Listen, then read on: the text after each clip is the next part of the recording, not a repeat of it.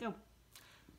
Hello everybody, my name is Humphry and today's story is called The Boy Who Lost His Belly Button by Jeanne Willis and Tony Ross.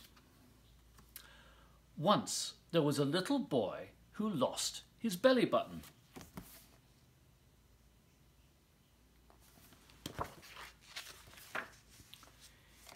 It was there when he went to sleep, but when he woke up it was gone.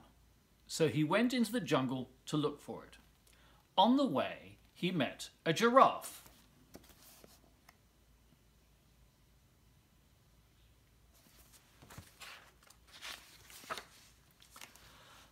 I've lost my belly button, explained the boy.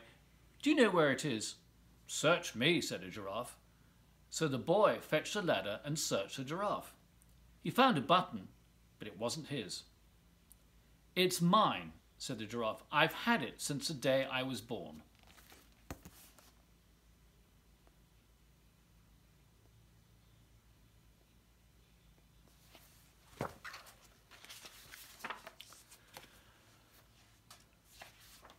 So the boy asked the gorilla, Have you found a belly button anywhere? Yes, said the gorilla, right here, and it stuck out its tummy. Very nice, said the boy, but it's not mine. My mother gave it to me, said the gorilla.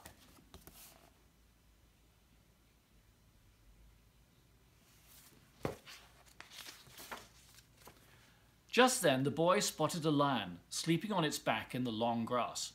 He crept up and went through its fur with a long tooth comb. The lion opened one eye.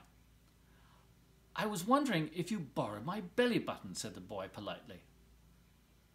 Why would I? I've got a perfectly good one of my own, said the lion. See?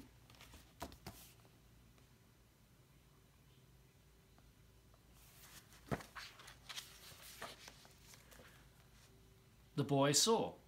Have all animals got belly buttons, he asked. Hands up everyone who's got a belly button, roared the lion.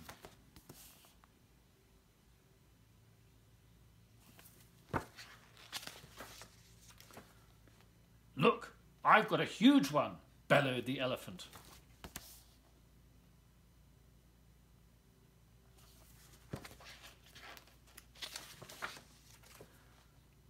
I've got a weeny one, squeaked the mouse. I've got a warty one, grunted the warthog.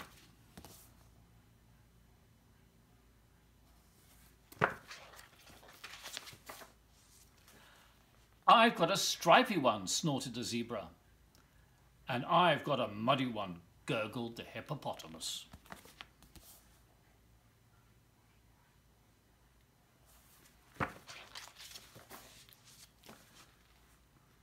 But the crocodile lay in the swamp as if it had something to hide.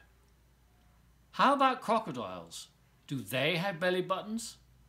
They might do, sneered the crocodile. Show me, cried the boy. So the crocodile rolled over.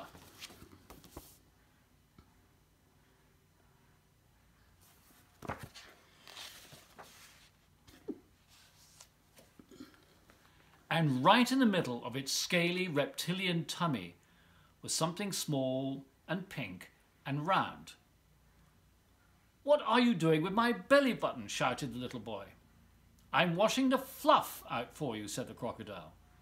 Thanks, said the boy. Can I have it back now? Certainly, smiled the crocodile. Come and get it.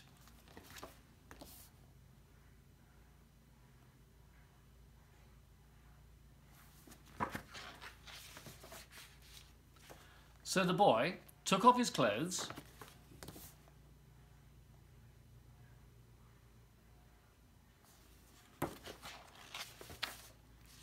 He waded right into the swamp and...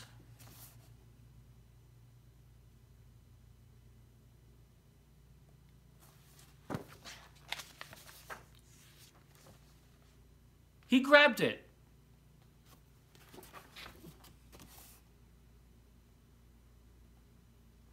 And that's the end of the story. I hope you enjoyed it. I'll see you again next time.